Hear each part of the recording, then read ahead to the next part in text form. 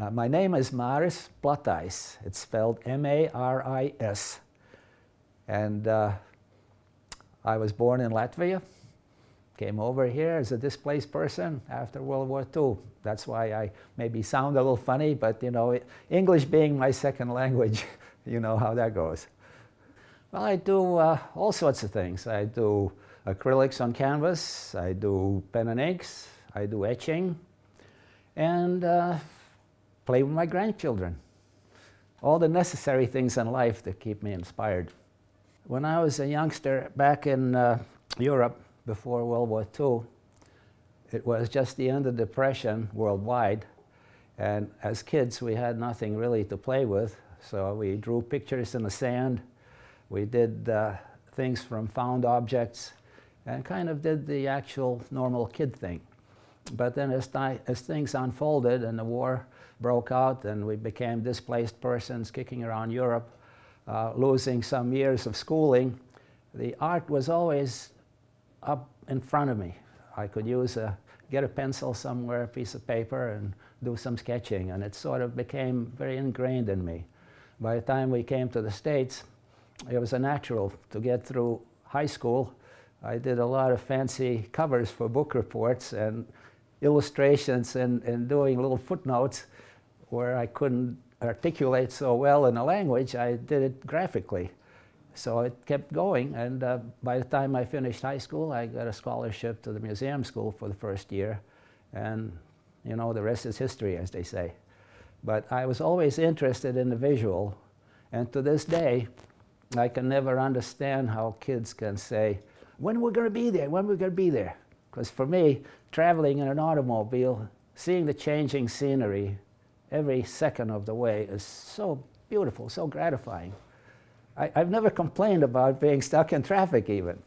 I look up the skylight sometimes and I see a, a, a red-tailed hawk flying overhead or some passing clouds and it's, it's always beautiful. Life is good. So my inspiration is something that evolved and it keeps going. And for years and years I've been building on that. And today my quiet moments, walking around the woods around the old farm, I, I see an old tree, I, I see something that inspires me. I don't sit there and paint it right away. I visit it several times and then have it imprinted in my mind to the point where I can do a painting or pen and ink from recall. My imagination probably was first honed when I was uh, sitting in a boarding classroom looking out the window, whether it was in college or high school or grammar school, I would always be imagining things or looking for something that I could doodle on the paper. And, and with that sort of uh, imagination and kind of training uh, within myself, I would find these subjects when I'm going around the countryside looking at uh, uh subjects to paint. I already have formulated some sort of a composition in my mind that I'm looking for. Or, in other words, the plein air observation augments the imagination and vice versa. So one hand washes the other, and it takes both of those. In my particular case, my imagination often starts from nothing, from one mark on a paper. Uh, on a canvas, it's a little different. I like to get into a whole messy thing and then pull out something that might emerge from it in pen and ink work or etching, I simply start with some loose lines and subdivide the paper or the plate into manageable portions that I can sort of manipulate to get my basic dynamics of the composition. And then from there, it evolves. But sometimes the evolution is even more naive than that. I'll start off with a blank piece of paper, take a crow quill pen, and just start scratching away lines and they grow into a shape and next thing you know that shape sprouts some branches and becomes a tree. So it's, it's, a, it's a thing that I've been doing for so long I don't remember how it really began.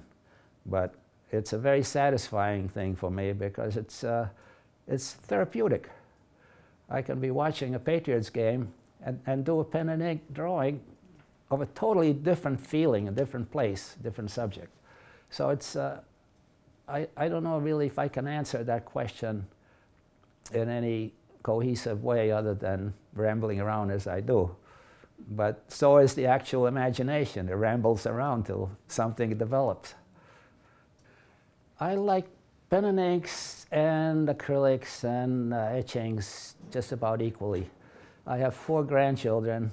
If I had three, you know what I'm saying. Uh, I, I love them equally. So there are times when things work out better than others. Like during this particularly harsh winter we had, I did a lot of uh, pen and ink drawings. I brought my drawing table right into the living room and set it up there just like it was part of the furniture.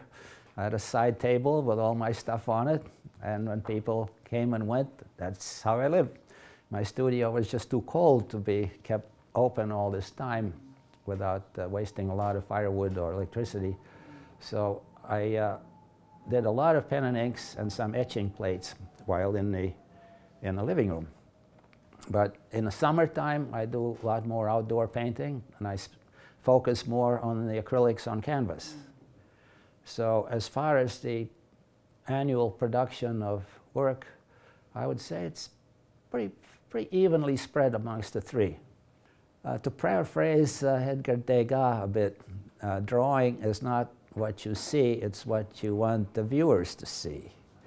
And I can totally agree with that because when I do any work that involves something that attracted me to that particular image, whether it's a plein air piece or something that I actually invented, I would like to have the viewer get some of the same feeling that I had doing it.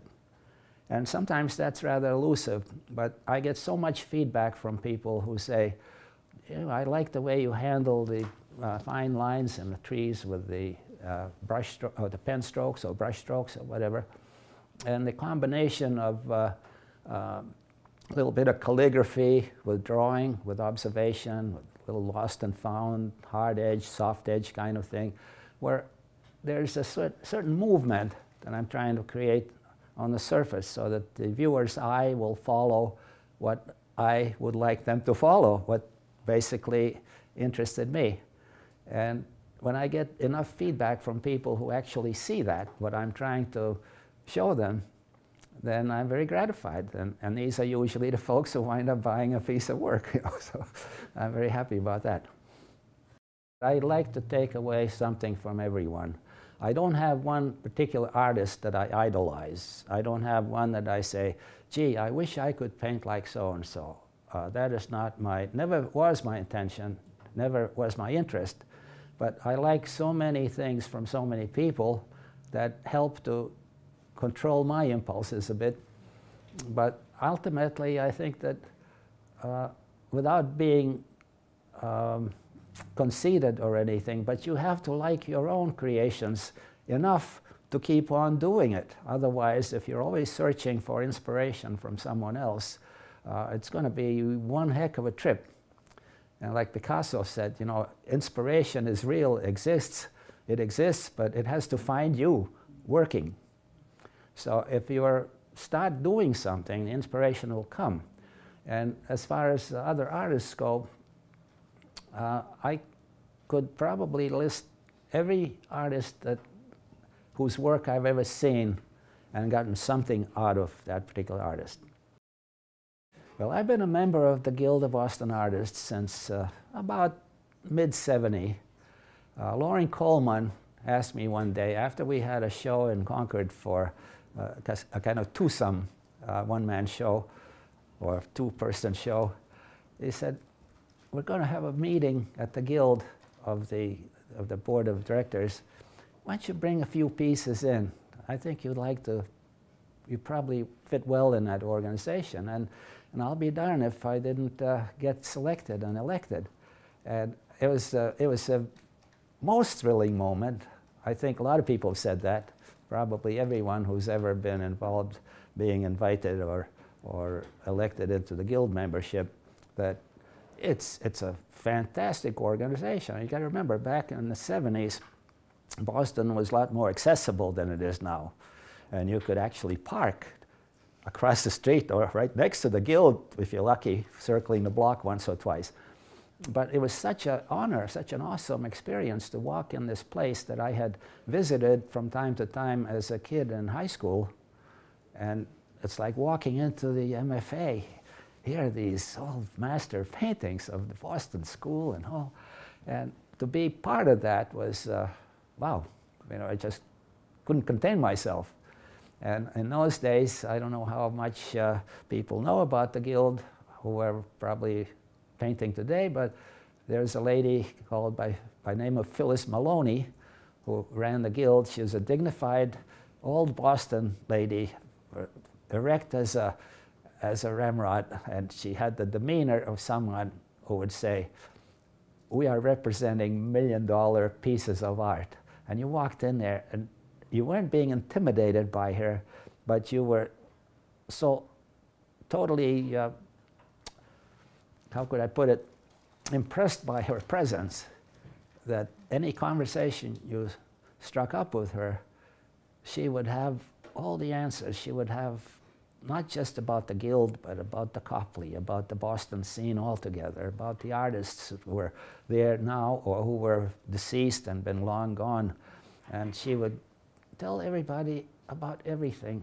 And I thought, wow, this is such a, such a place and it still is, even though hands have changed many times and uh, a lot of things have happened to the Guild. But to me, it was uh, my first boost into having a professional career as an artist. Because at that time, I was concurrently working as a graphic designer and illustrator in the corporate world too. And I was trying to balance the two. But to have uh, this kind of a outlet with such prestige and such, uh, um, how could I put it, um, credibility, it was like the doors are opening. My current project is something that came about accidentally almost, but I'm going to have a one-man show in my hometown of my native Latvia coming this August. And I'm busy as heck to get things ready for that and editing and sorting out paintings and framing and doing all the things that uh, one has to do for a solo show that involves about 18 to 20 paintings.